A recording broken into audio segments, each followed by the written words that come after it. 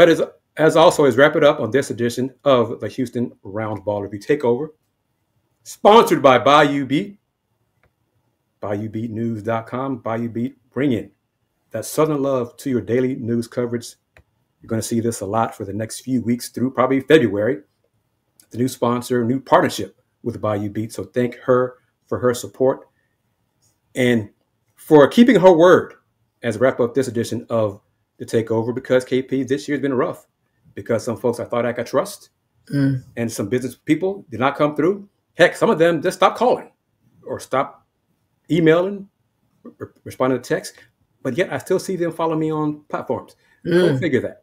But anyway, as I wrap it up, Miss Kennetra Pulliams, thank you very much as always for taking time. And Anytime. again, happy Thanksgiving to you. And we're going to do this again probably on Wednesdays for a while, if that's okay with you. Cool. Because of my changing work schedule. But everyone, Small Business Saturday is this Saturday. Support the Houston Roundball Review. Order your Houston Roundball Review merch one more time if I can get that up as a reminder, as a note. Y'all know, support the Roundball Review. Buy you a mug, buy you a hat, buy you a shirt, buy you a hoodie, buy you a long sleeve shirt, buy you.